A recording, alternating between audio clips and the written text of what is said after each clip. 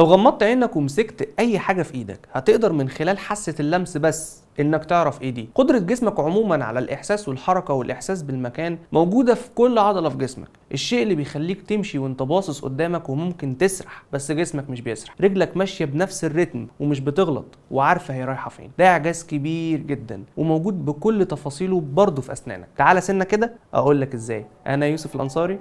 وتعالى سنة.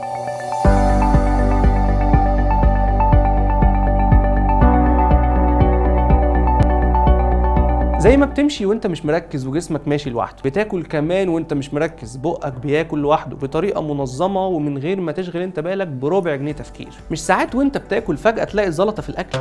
إيه أول حاجة بتعملها؟ ولا إرادي كمان. غصب عنك فجأة هتبطل أكل وتبدأ تخرج الزلطة دي من بقك بالراحة لأنك كمان بتكون حاسس بمكانها في بقك. تخيل لو مفيش النعمة دي مش هتحس بالزلطة وبالتالي هتضغط على ضروسك وبالتالي هتتكسر. شوف كم مرة في حياتك كان في زلطة في الأكل والنعمة دي خلتك تنتبه وتوقف أكل بسرعة ومنعت ضروسك من إنها تتكسر. دي النعمة دي لو ما كانتش موجودة كان زمان ضروسك كلها اتكسرت يا راجل. تعرف كمان إن النعمة دي بتمكنك إنك تعرف إيه الحاجة اللي في بقك لأن الفم بيتعامل مع الشوكة بطريقة غير الزلطة غير حتة المكرونة بالبشاميل. ولا ورقة اللحمة بقى مع السلطات بقى والطحينة والمخلل ما أقولكش. حاجة كده فوق العظمة ولو معاهم شوية ملوخية خضراء مع الطشة بتاعتها لا مؤاخذة الواحد شكله جعان والله رقي جري النعمة دي اسمها ال proprioception وترجمتها الحرفية الحس العميق زي ما إحنا حسينا بالملوخية كده بالظبط. الفكرة بكل بساطة إنك بتحس فعليا بكل شيء جوه فمك ومكان حدوثه وملمس الحاجة اللي جواه. فأنت حرفيا من غير النعمة دي حياتك كانت هتكون صعبة قوي زي مثلا أنت متخيل كم مرة عضيت لسانك ووقفت بسرعة قبل ما تقطعه؟ طب متخيل كم مرة عضيت على خدك من جوه ووقفت بسرعة قبل ما تتأذي؟ طب متخيل أنت قد إيه وكم مرة اجزاء من اكل اتحشرت بين سنانك وقدرت تعرف مكانها وتشيلها وده كله بسبب النعمة اللي ربنا اداها لنا واللي اسمها البروبريوسبشن كله بقى يقول الحمد لله ويصلي على سيدنا محمد رسول الله عليه الصلاة والسلام.